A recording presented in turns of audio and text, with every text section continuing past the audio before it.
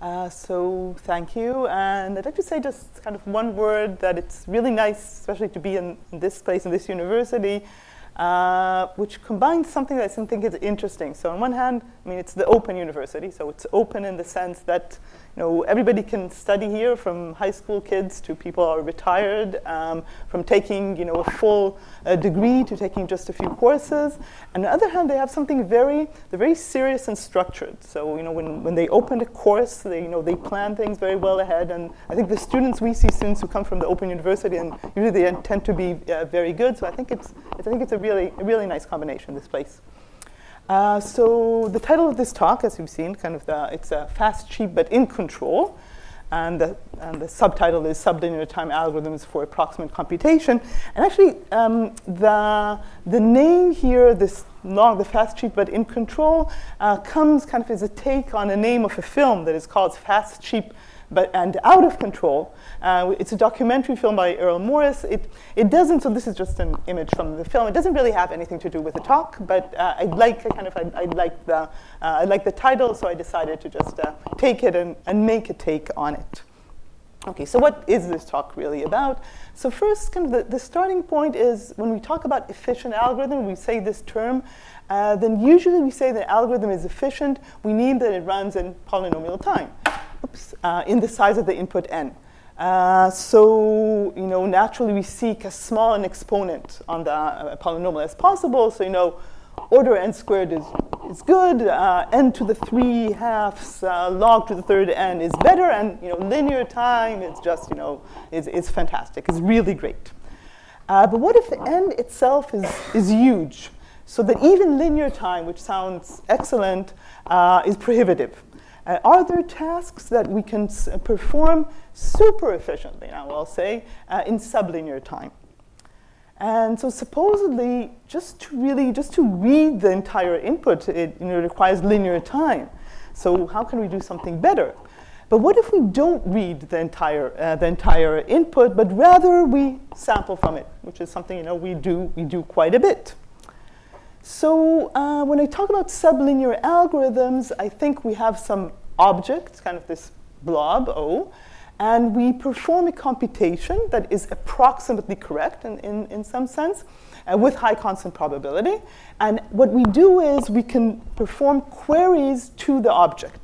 Okay, so now in order to define such a problem precisely, then we must specify what is the object, you know, what is this blue blob, uh, what kind of query access uh, are we allowed, what, of course, is the desired computation, what do we want, and what is the notion of approximation. So we need to specify all of this. So um, a few examples. You know, the object can be just an array uh, of numbers, and we want to, de to decide whether it is sorted. So here, kind of what is the approximate computation? Maybe you want to tell whether it is you know, perfectly sorted or whether there are uh, many errors to, to it being, being sorted. And the queries are kind of natural, and maybe the distance will, is, is also natural. Uh, the object can be a function, and we would like to decide whether it is a linear function. Uh, and this corresponds also, we can uh, formulate this question as a coding theory. Is it, is it, is it as a word in a, uh, in, in a code, in the Hadamard code? Uh, the object can be an image, um, say, you know, pixels and, and by an image. And we would like to decide whether you know, it is a cat or if you want something a little more formal, whether it is a convex, uh, convex image. Uh, the object can be a set of points, and you would like to approximate the cost of clustering them, again, according to some particular clustering measure. Uh, and the object can be a graph. You know, we like graphs, and the object can be a graph, and we would like to approximate some graph parameter. So actually the focus here, I wanted to give several examples so you see that it's, you know, it's, it's wide, uh, but I'm going to focus here on, this, on these type of problems. Um, and I'll say kind of maybe a little differently from the other talks, I decided to go for a survey talk. So it means that kind of your attention span can be uh, relatively limited, so you can kind of doze off and then in return. But on the other hand, I will require some attention span at some, at some points. Okay, so what do I mean by, by graph parameters? Uh, graph parameters, just a function that is defined on a graph. Uh, you can talk about uh, undirected, direct. I'll talk about undirected, weighted, unweighted. Mostly I'll talk about unweighted, but maybe talk a little bit about, about weighted graphs. So for example, a very, very basic graph parameter is the average degree of a graph. Um, it can be, we can talk about particular subgraphs, small subgraphs, and we want to count the number and the number of subgraphs h uh, in the graph. We can talk about the number of connected components, uh, the minimum size of a vertex cover, that's kind of more optimization problems, maximum size of a matching, a number of edges that should be added to make the graph K connected, um, minimum weight of a spanning tree, and and more and more. So you know you can make up, uh, you can think about you know natural. There are many many natural natural uh, parameters, and so for all the parameters that I listed uh, in the previous slide. Uh, there are efficient polynomial time algorithms, either for computing exactly, in some cases they're really trivial, or uh, possibly approximately, as in the, the, uh, the, size of the minimum vertex cover. And for some of them, it's even linear time, so it's like you know, the best you, could, you can hope for. However, as we said before, now I'm kind of focusing in this, in this context, um, when the input is very large, it's a very large graph, uh, we want even more efficient. So that's the point, we want sublinear time um, algorithms. So as we said, the algorithms do not even read the entire graph. They are randomized. Uh, they provide some approximate answer for, the, uh, for, for what we want to compute, and they're allowed uh, some failure probability, so they are required only to work with high success probability. I'll talk mainly about high, constant high, and in some cases, when we want more, we'll say, we'll say that we, how, how we can get more. Okay, so we're talking about graphs, we're talking about sublinear algorithms. So we said the algorithm given query access before we had some, you know, general object. Here the object is a graph, but still queries, there can be different types of queries. So what kind of queries maybe you consider?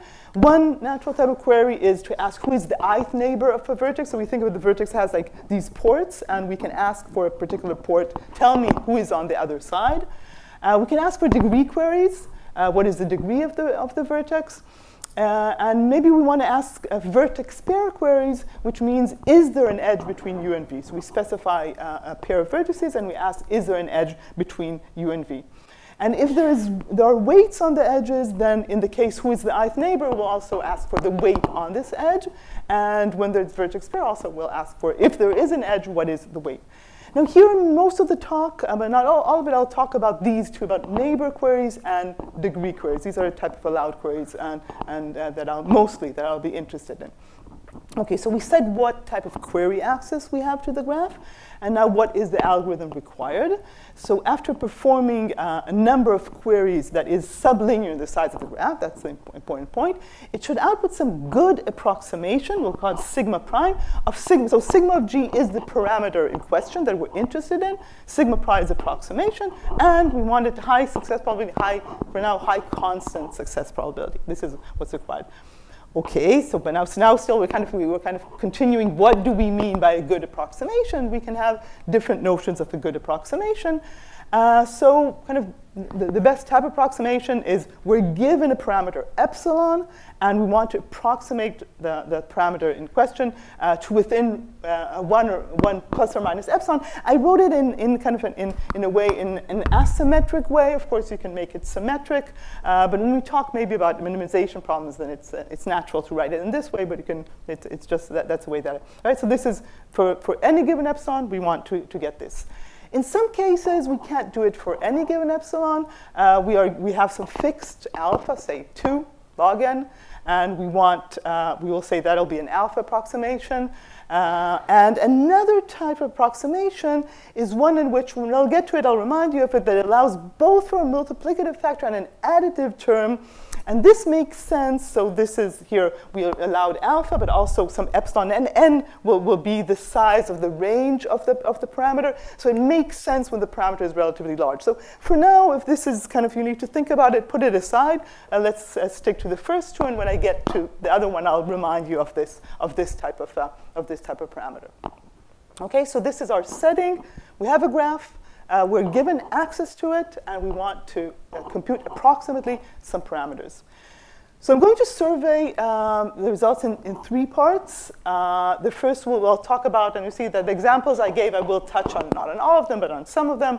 I'll talk about the average degree and the number of subgraphs of particular types. I'll talk of size of a minimum vertex cover and a little bit about maximum matching. And we'll see how much time I have. Um, maybe I'll give at least part, maybe some of it we'll, see on, uh, on minimum weight of a, of a spanning tree. And I'll try to give you, so there'll be, some of it will be just you know, telling you about results, and some I'll really try for each one to give you some ideas of how things are done. That's, uh, that's, my, uh, uh that's my intention. Okay, so we'll start with the average degree.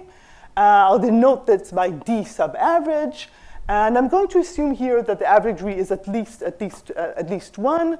Uh, and this can be taken care of, but if it's much smaller, then th this comes at a cost. So let's just assume the average degree here is at least, uh, at least one.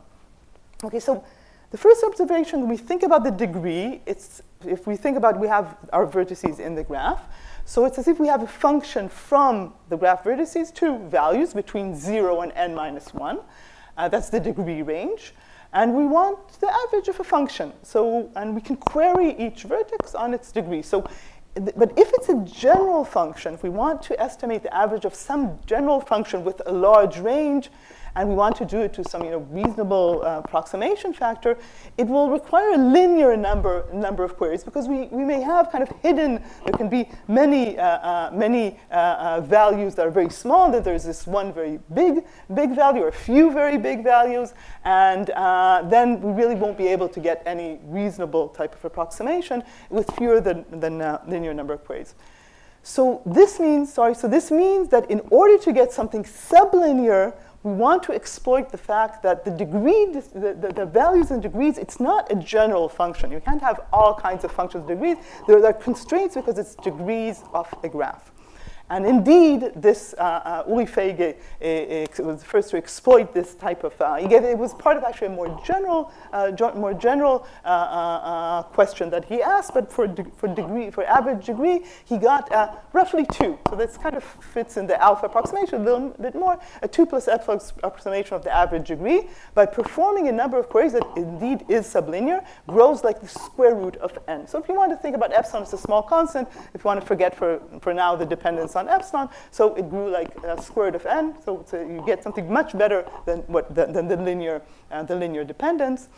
And also, um, uh, going, we showed that going below 2, if you want to go below 2 use degree queries, again, you kind of hit this linearity, linearity bound. And basically, you can, you can see this, get a feeling of this uh, uh, easily, because it's hard if you have a graph, there's a matching, and everybody has degree 1, the average degree is 1, compared to a graph where uh, all vertices by 1, they're connected to 1, they have degree 1, and this vertex is, is, has degree n minus 1. So, so, and here, so the average degree is almost 2, and distinguishing between these, again, if there's a random uh, naming of, of the vertices, is uh, you cannot do it in, in, um, in less than a linear number. So, so kind of this says, okay, then you know we kind of we have something nice and kind of close. You can't get anything better, but Remember that when we ask a question, it's not only that the degrees are dependent on the fact that it's a graph, but we may allow, because it's a graph, maybe we can ask kind of not only degree queries, but also neighbor queries. We said those are natural queries that we may ask. So, uh, so we looked with, with Oded Goldreich, we looked at the problem of both having, if we have degree queries and neighbor queries, then in this case we can go below the factor two. And indeed we can get a one plus epsilon approximation. And the number of queries that we perform in terms of the dependence on n is roughly a little more than, than than square root of n, and the dependence on, on 1 over epsilon is a little higher, as a, a polynomial, polynomial uh, dependence. So before, I'm going to show you kind of almost, kind of pretty much the idea, almost the proof of how, how, you can get, how you can get this. But before that, kind of a few comments. So one comment uh, is that actually when the degree, I said the degree is at least 1, but what if the degree is, the average degree is relatively high? If the average degree is relatively high, the problem becomes easier. And we can replace the square root of n, actually it's the square root of the uh, n divided by the average degree. So it becomes, the problem becomes, um, becomes uh, easier.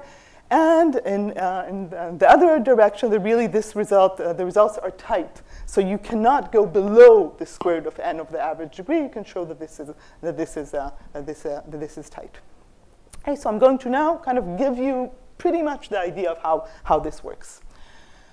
Okay, so first ingredient, uh, we're going to consider partition of the graph vertices into buckets. And I'm going to say this I, bucket, are, the, the, it's not necessary for the proof. I think it's easier to understand, but again, it's simpler, but simplicity again, is in the eyes of the beholder, but I, I find this a, an easier way, a way to, to see it. Uh, so we partition the graph vertices into buckets. The number of buckets, before I say about the number, what is bucket? Uh, within each bucket, all vertices have roughly the same degree. To within 1 plus or minus beta, and beta is roughly epsilon. So I mean, this 8, and so that things will fit, fit nicely. But roughly within each bucket, vertices have roughly the same degree. What this means is that the number of buckets is roughly is, is, is, is the order of log n over epsilon. Again, think about log n, and let's put aside uh, epsilon. Okay, so okay, we partition in our head. This is something we don't go and ask about, we, we partition in our head. What does this, you know, what does this uh, uh, help us? Uh, so now at the first thing, we, think about a kind of a thought process, and this will lead us to the algorithm. So suppose that for every i, we could estimate the size of the bucket. This is bi is a bucket. We could estimate the size of the bucket, again, to within the same 1 plus or minus beta, with this roughly 1 plus or minus epsilon then you know, if we could have that, if somebody gave us that, then you know, we would be pretty much done. Because if we take the size, we sum over, this is the size, uh, this is uh, uh, the, an estimate of the size of the bucket, this is the degree roughly within each, uh, that every vertex has within the bucket.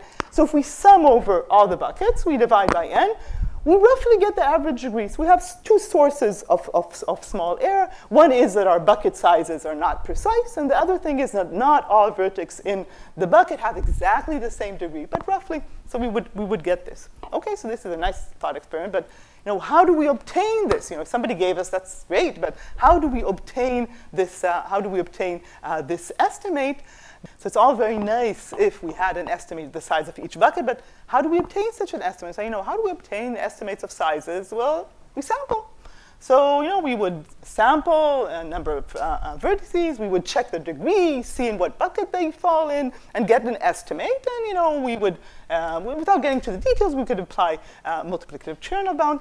But, well, there's a bit of a difficulty. Sampling is very nice, but if the bucket itself is very small, remember we want something that like square root of n, the number of samples. If the bucket itself is very small, much smaller than square root of n, then we have a problem. So this is just an illustration. You know, there's, this is a nice big bucket, this is a medium-sized bucket. Then there's this little bucket.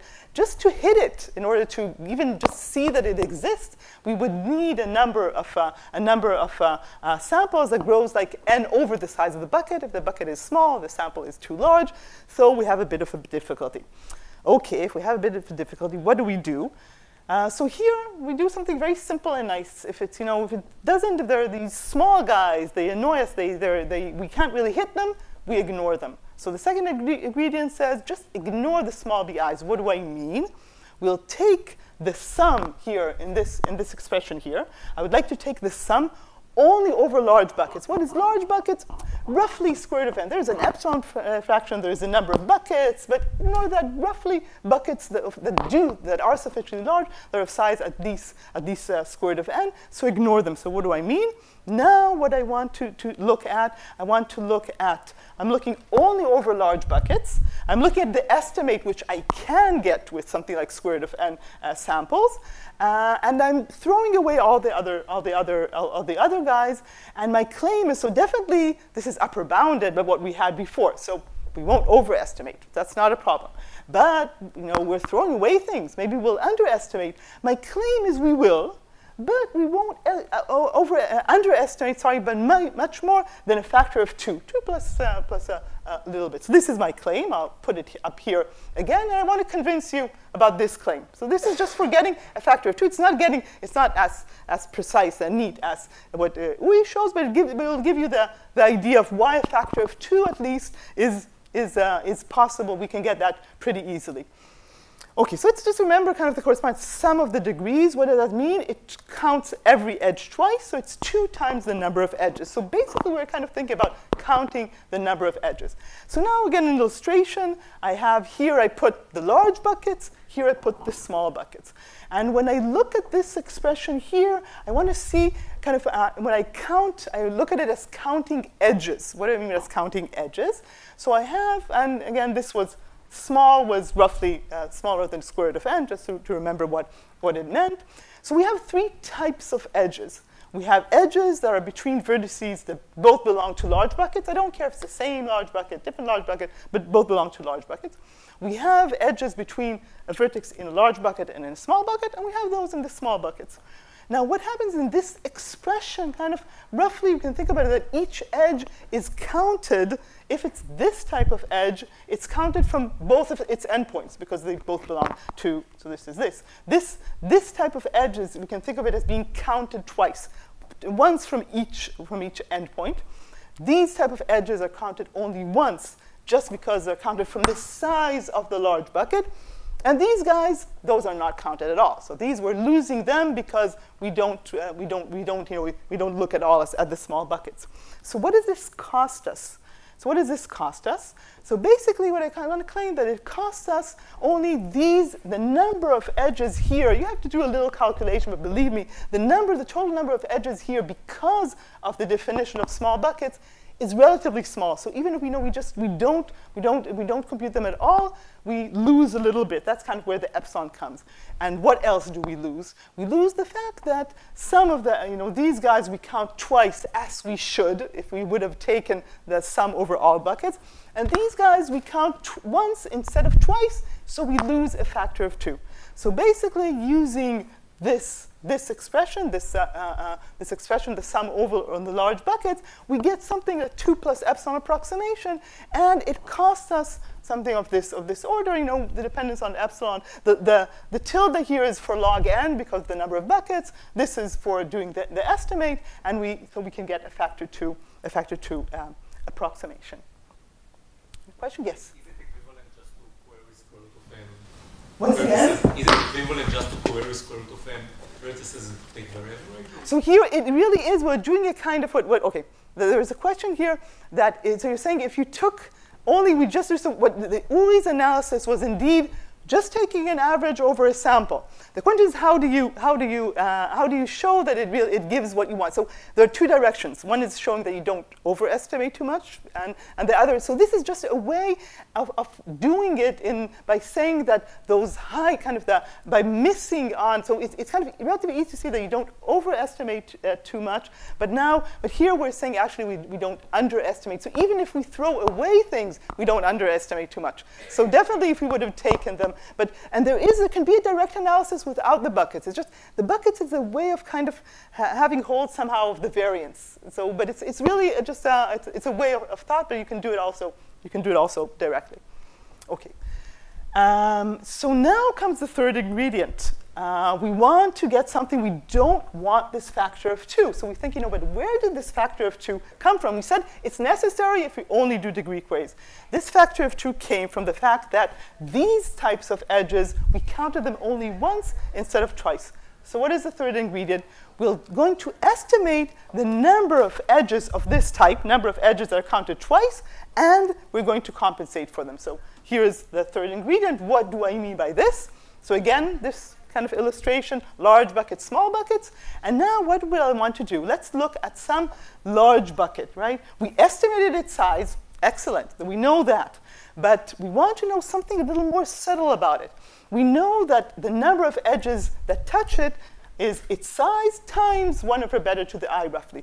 But what we want to also estimate how many of them go in this direction. They, these are counted the number of times they should, how many are, go in this direction. So all we do is for each large bucket, we estimate the number of edges between the bucket and some of the small buckets. We can do that by, by taking sampling neighbors. So here we use the fact that we have not only degree queries, but also neighbor queries. So when we hit, and another good thing that within a bucket, everybody has roughly the same degree, so we can easily sample a random edge that is incident to, to BI. So we sample neighbors randomly from, from BI, and here we get an estimate. So this is what we, we count here.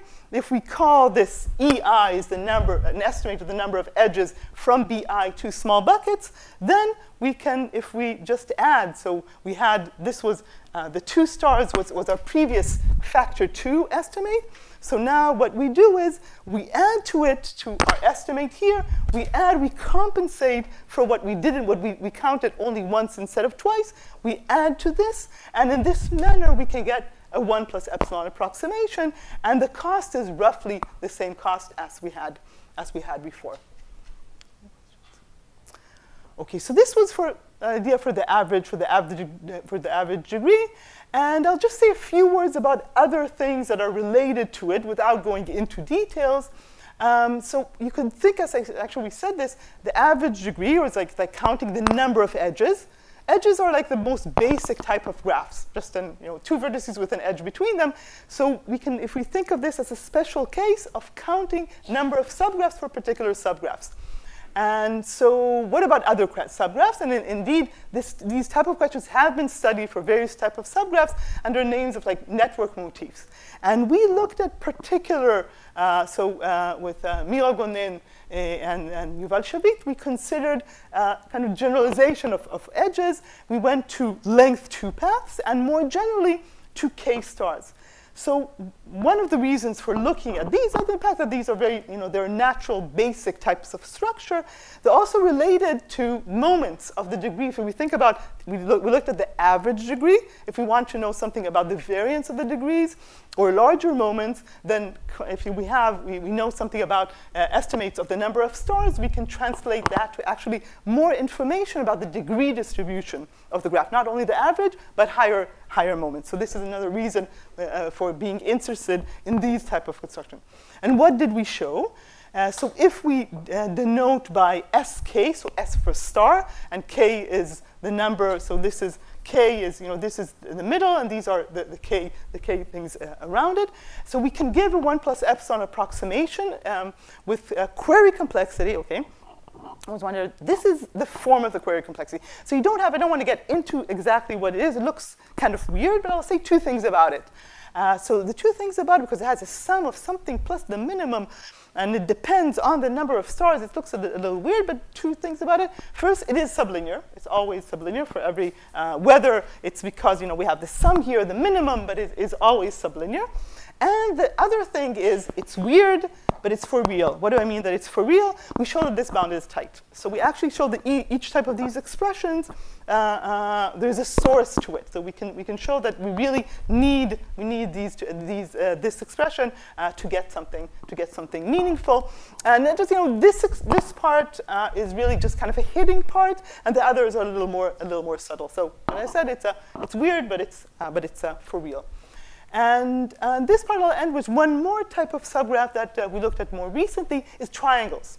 So triangles, something there's something more a little more complex about triangles. Though they're you know they're just three vertices, but there's there's a, in the structure of them there's something a little more complex. And the, the question of triangles really has, has come up in the past uh, quite a lot, both exactly and approximately uh, counting in various social networks and in various type of contexts. Uh, but in all previous algorithms, some of them were randomized, but they read the entire graph. So they, they work by reading the, the entire graph, and we are interested in doing some, something sublinear.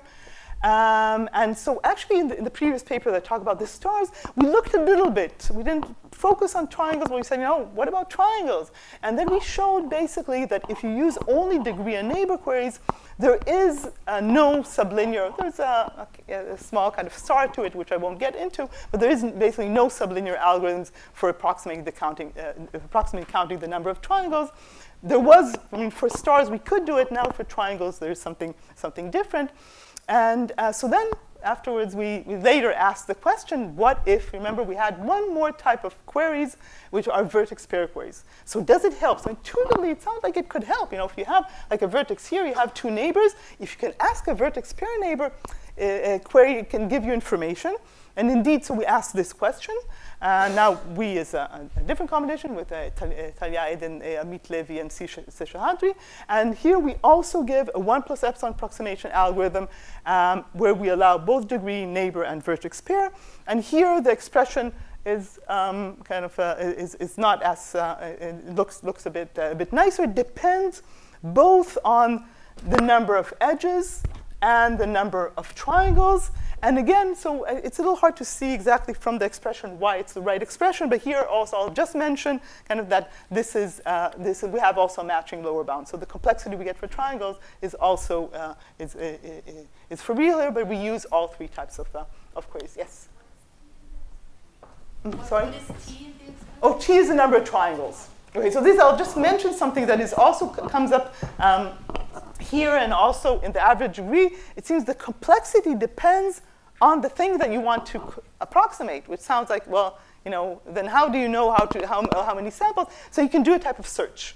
So there it was just a search on kind of uh, on the number of uh, edges. Here there are two types of things you have to take into account. Both this is maybe unknown, this may be unknown, but you can you can you can search for them and and, and, and, and get what you and what you what you want. If you have a small number of triangles, then it will not be uh, Okay, so okay, so this is as I said before. The other one was always always sublinear. There was always here. This is true that if, if, if it, uh, so you can switch, so the, the, if the number of triangles is very small, but then you can, you can actually show that if it, the number of triangles below some level, you really have to look at a linear number of edges. I mean, you really have to look at the whole graph. You can hide them in a way that, that you really can't. So it's, it's inevitable, right? but I agree. It's not, it's not always, uh, it's not always sublinear. Okay. So I'll go now. So are the questions about the, the first part? Okay, so as I said, now if you kind of, um, I'll switch to uh, to, uh, to the second problem. And the second problem is the minimum vertex cover problem. Again, look at kind of basic, basic natural, uh, natural parameters of graphs. So let me just remind you. Uh, so for a graph, a vertex cover is a subset such that every edge, at least one of its endpoints, is in this, in this, in this set. So this, for example, for this, uh, for this, and we want, and the minimum is this uh, vertex cover of, of minimum size. So we know computing the size of minimum vertex cover is hard, but there is a very simple, and I remind you, if any of you forgot that there's a really simple factor two approximation, can be found in linear time. Um, and uh, so now, but we ask ourselves again, linear time is great, but what about sublinear time? Can we get something, something more, more efficient? So here again, we start with something, I think there's something, we start with something kind of a make believe, you know, assume that. And could we do something then? And afterwards, we think, you know, but can we actually get something for real? So before we said assume, we had an estimate of the size of each bucket. Here, actually, asking something kind of stronger, but we'll see how to deal with this. So it is an, uh, an imaginary oracle. Um, what do I mean by that?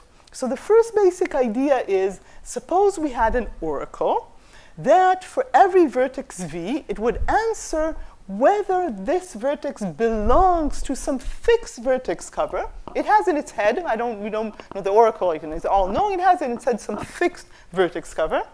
And I'm not asking the vertex cover be optimal, but it's at most a factor of alpha, for some alpha, you know, maybe alpha equals 2, from the, from, uh, from the uh, larger than the minimum vertex cover.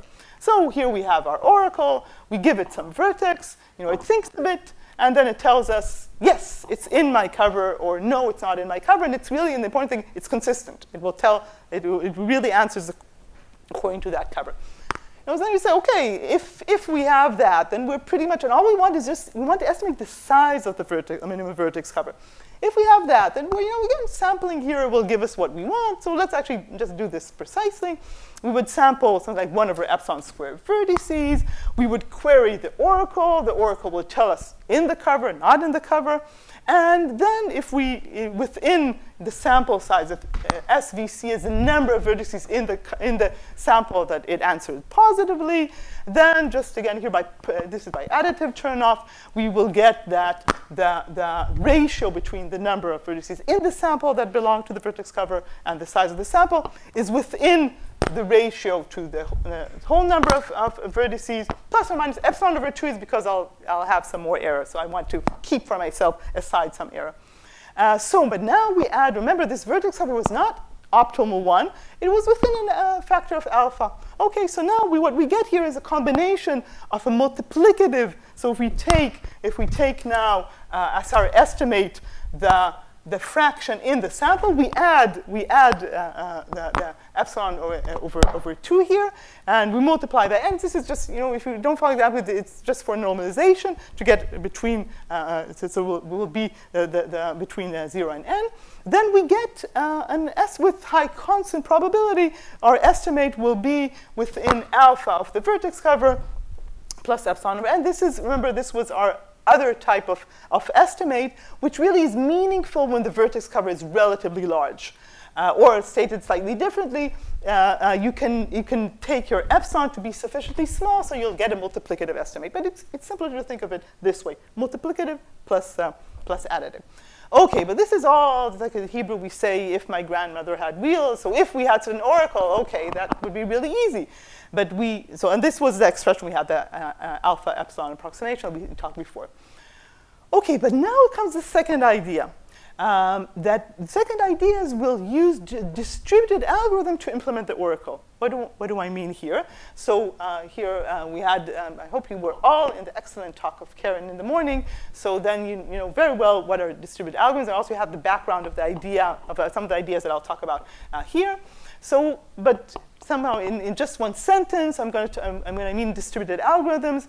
I mean here in the message passing model. So we have a processor on each vertex. The, the uh, algorithm works in, distributed algorithm works in rounds. In each round, each processor can send messages to its neighbors. And here, actually, I don't care even about the size of the messages. And in the end, in the end of the protocol, uh, we want each vertex to know, am I in the cover or am I not in the cover? That's, the, that's, what, I want, that's what I want in the end. Okay, so what does this, what does this help us? What does this help us is if we had a distributed algorithm that for the minimum vertex cover, approximate minimum vertex cover that works in k rounds of communication, what would our, imagine now uh, we would, would have an oracle that would use this algorithm. What do I mean? When the oracle is called on a vertex v, what does it do? It goes to the graph and it says, okay, here's my vertex. It reads, now it has, it is allowed queries. It is allowed to ask neighbor queries. It will go to the distance k neighborhood of the vertex v and now it will just emulate. So it's not really a distributed algorithm. It's a very centralized algorithm. But you know, it, you know, it, it's allowed to do what it wants. So it will run in its head as if it, you know, the, there was a processor in every vertex and they exchange uh, and they exchange information. In the end, the decision of the ver of vertex v depends only on things that are a distance uh, k uh, from it. So it can emulate this algorithm, and then it will answer, you know, v is not in the vertex cover or v is in the vertex cover. What about the query complexity? So the query complexity, we don't know anything better about the graph Then it is the uh, maximum degree, they're called d, to the power of k. And, uh, but we get something, so for constant degree, we, and depending on, on what k is, we'll see in, in a minute, we can get something meaningful uh, by this kind of using, taking this thought process and making it real using a distributed algorithm. Okay, so now what distributed algorithms do we have? So if we take uh, uh, uh, work that I think also, maybe I know if it was this paper or maybe another paper that Keren mentioned, maybe uh, Keren mentioned the lower bound uh, result. So um, there is a, a well-known uh, distributed algorithm. Actually, it's more general. It's not only for vertex cover. It's generally for cover problems using linear programming. But if we want, we want to use it only for vertex cover, then, then we do that. What can we get? If we, we, we want here, remember this is the uh, uh, multiplicative factor.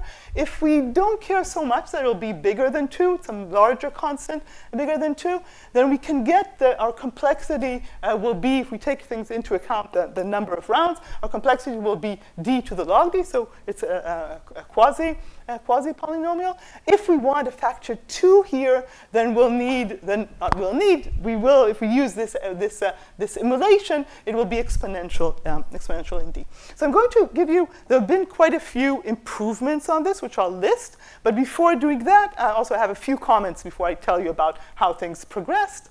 So first, one thing, if you don't like this maximum degree, it doesn't sound so great. Uh, uh, uh, so if you, but we can replace the maximum degree actually by something like the average degree over epsilon. So this is one um, observation that was, that was made with uh, a paper with Michal Parnas. So it's, it's very, so even if the, the average degree is small, but the maximum is large, we still get something pretty good.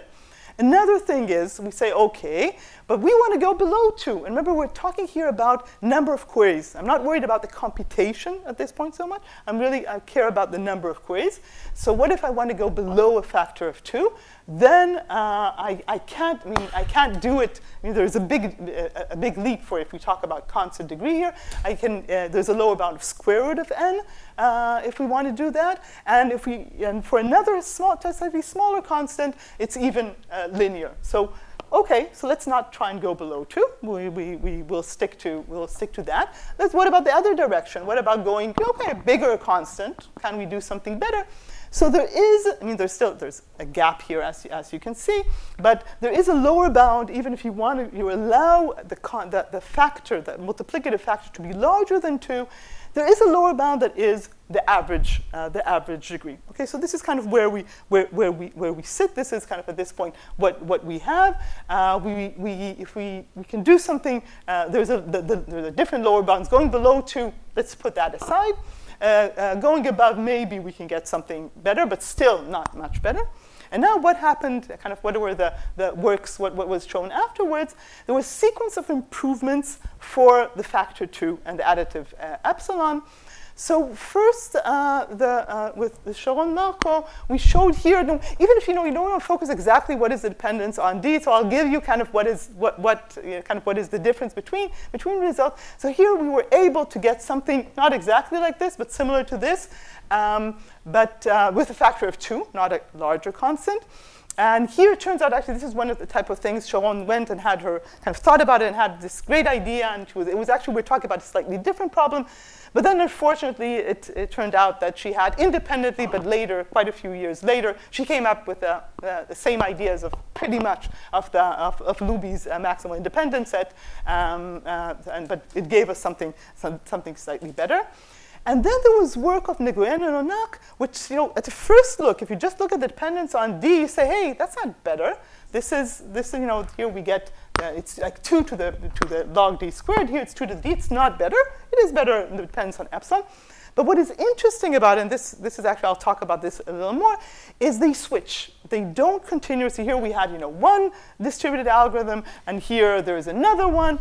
They, they had it, you know, they switch. They looked at the problem differently, and uh, they emulate, but also they emulate the classic greedy algorithm, and in a manner that I'll talk about a little bit before. What happened is that this led to another uh, two papers. Uh, Yoshida, Yamamoto, and Ito were uh, able to show that uh, uh, better kind of a, a, variant of this algorithm in a very nice sophisticated analysis could you know, drop it from exponential in D to polynomial in D. And then there was some follow-up work where we showed that actually you can get something almost like you can almost get the, tight, the, the, best result that you can. So what I'd like to do now is give you some idea of the, the NO algorithm, because you know, as is, it's not better, maybe what we were before, but it, it's a new, it was a new idea, and building on it, uh, we, we, we, were able to get something that is, um, that is pretty much uh, clo very close to, close to optimal. So let's remember what does the, you know, the non-sublinear, just standard uh, algorithm look like? And again, it, it's, it's, I'm talking here about, um, okay, you'll see the relation to, to what, what Keren uh, showed uh, in the morning. So we start with uh, a vertex cover C, which is empty. U are the uncovered edges. We need, want to cover all of them. And as long as the set of, un, of uh, uncovered edges is non-empty, where there's still somebody who needs to be taken care of, what do we do? We arbitrarily select some edge that is yet uncovered. We take both of its endpoints into the cover, and we remove from the uncovered edges, all edges are now covered. I mean, we remove the edge, the, all edges that are incident to the vertices. This is just the algorithm. Okay. Now I want to describe it a little differently because it will help me in what I want to show.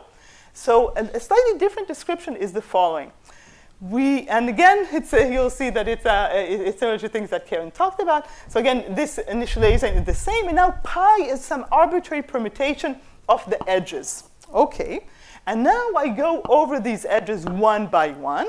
For each edge, if it is yet uncovered, I mean, if it's covered, I don't care. If it's yet uncovered, what do I do? I add both its endpoint to the cover, and I remove, I remove it and all the uh, edges that are covered. So, and actually what is going in the background here, and again, if you, uh, so oh, here is my, uh, my uh, yeah, here's my uh, uh, animation. So this is the ordering. So we take edge number one, and we take both its endpoints to the cover. We remove, uh, the red are the removed edges.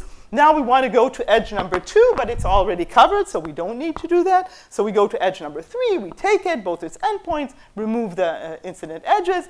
We, uh, four is already covered, five is already covered, six, seven, we take it, so this is not such a great cover because we've taken all the vertices in the graph, but it's a factor two. That's, uh, so it's, it's, uh, it's as good as, uh, you know, as we, uh, we, can get for, for, this, uh, for this algorithm. So basically what is going, what is sitting behind here, actually we are, we are in the background, we have some maximal matching, which is a maximal independence set over the edges. There's maximal matching. Initially it's empty. And each time we select, an, we select the edge, and according to the order, we add it to the maximal matching. So this is what we're doing. And this is, this is what gives us actually the, the factor of 2. So now if I fix some permutation pi, it, and then it defines a maximal matching that results from running the algorithm with, with pi. And what happens is that the size of the maximal matching is within a factor of 2 of the minimum vertex cover. So, uh, so now what, so we, now if we want to estimate the minimum vertex cover, then great, you know, we have here this bounding, you know, there's a factor of two here. We'll just estimate the maximal matching for, for, uh, for pi. And once again, as before, we'll sample these, you know, uh, 1 over epsilon squared edges uniformly. For each one, we'll check. That's the question, how we'll check, but we'll see in a minute. We'll check if it belongs to the maximal matching. And we'll do that by calling Again, an oracle. Once again, we had an oracle, a maximal matching, a maximal matching uh, um, uh, oracle. So there are some issues here. How exactly do we sample edges uniformly? We need to normalize the number of edges. Let's put that aside. Believe me, it'll be okay. Okay, so now a basic observation for, for the algorithm is the following. Suppose, let's look at some edge E. Its endpoints are U of V. If it has some, so this is, this is my edge E, and there's an, an, another edge that touches it on one side. Let's call it E prime.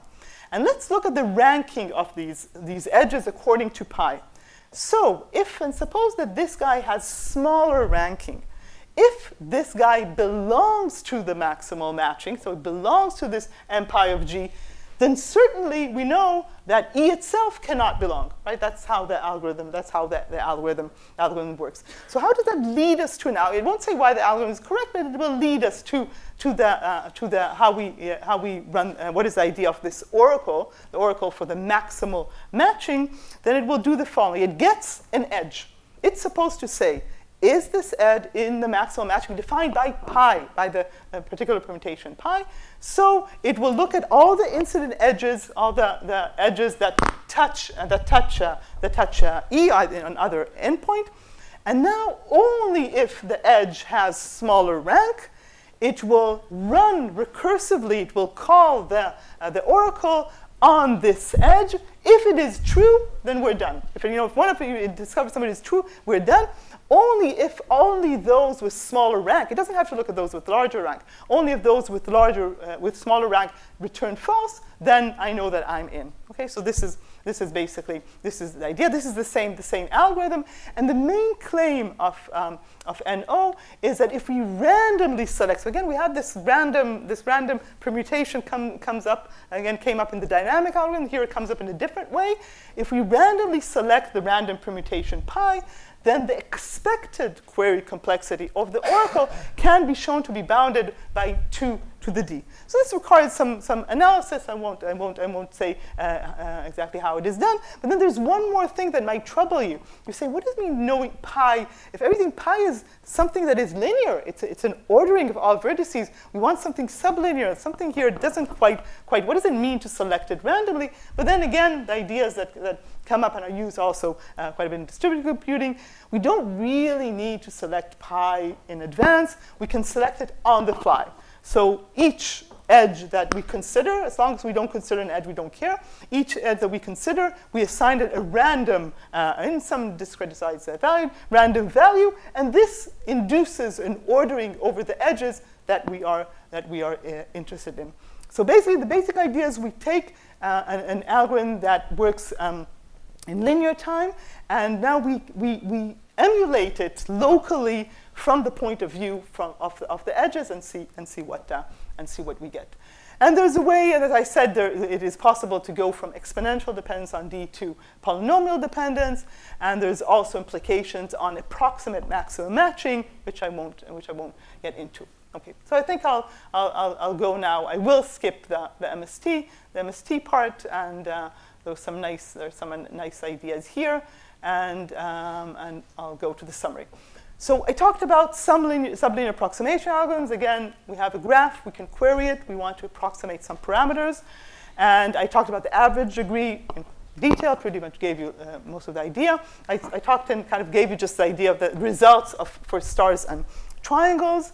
Uh, we talked about the minimum uh, vertex cover and a little bit about the maximum about the maximum matching. Maybe just I'll add in, in passing that this uh, direction from distributed to, uh, to, uh, to sublinear approximation. There's also, there was also kind of going a bit back, taking ideas from the NO algorithm back to distributed uh, uh, with uh, Guy Even Moti Medina. so we were able to get something that combines ideas together uh, for, uh, for approximate maximum matching and, and, also in the weighted case.